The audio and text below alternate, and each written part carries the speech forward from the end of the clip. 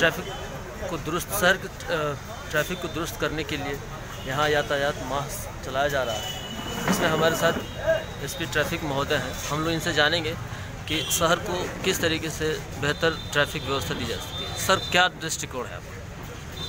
Traffic का मूल उद्देश्य होता है कि व्यक्ति जो भी जाना चाह रहा है अपने गंतव्य तक बिना किसी रुकावट के पहुँच सके। उससे किसी प्रकार की कोई बीच में जान की स्थिति न फेस करनी पड़े या कोई रुकावट ना हो। इस दिशा में हम लोग लगातार प्रयास कर रहे हैं। जिस लोगों ने पार्किंग नहीं किया है, जो रोड पर वाहन खड़े होते हैं, उनके लिए नैतिक स्थान दिया है और लगातार प्रयास करेंगे कि अब वाहन वहीं पर खड़े हों इसके अलावा जो यातायात के नियम हैं, जैसे दोपहिया वाहन चलाने वाला हेलमेट लगा कर चले, फोर व्हीलर वाला हेलमेट लगा करके चले, निर्धारित स्पीड से ज़्यादा न चले, शराब पी करके बाहर न चलावे, नंबर प्लेट अपनी सही रखे, कागजातों को सही रखे, इस दिशा में भी हम लोग प्रयास करेंगे कि इस यातायात माह में हमें सुनिश्चित कर लें कि किसी भी तरह से फेक नंबर प्लेट की गाड़ियाँ ना चलें।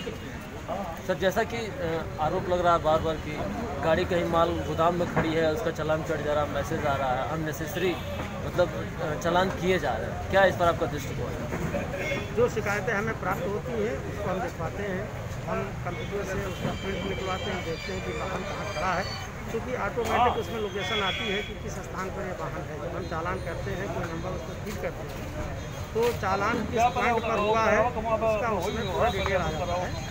अगर ऐसी स्थिति होती है तो फिर हम उस चालान को माफ़ भी कर हैं। शहरवासियों को क्या संदेश देना चाहिए? शहरवासियों को मेरा ये संदेह है इस यातायात माह की शुरुआत यातायात के लिए। जो ट्रैफ़िक के नियम हैं उनकी सुरक्षा के लिए हैं उनकी सेफ्टी के लिए हैं वो उन्हीं के लिए है उसका वो नहीं करें। जो नई सिग्नल व्यवस्था दी गई है उसका पालन करें। जो हमने पार्किंग चिन्हित किया है पार्किंग में अपने वाहनों को खड़ा करें।